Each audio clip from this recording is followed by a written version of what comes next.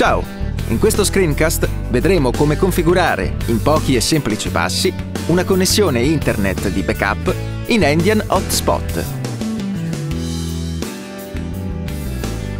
Cominciamo con l'aggiungere il secondo uplink nella sezione Interfacce. Mettiamo un nome che descriva l'uplink. Scegliamo il tipo di connessione, nel nostro caso DHCP su interfaccia Ethernet e selezioniamo l'interfaccia Ethernet a cui assegnarla. Qui inseriamo degli host sempre raggiungibili per permettere al sistema di capire se la connessione internet dell'uplink è attiva. Nell'esempio, due IP di server Google.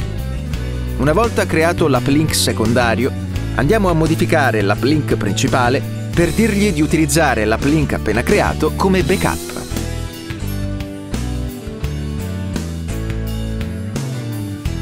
Anche qui mettiamo degli IP sempre raggiungibili.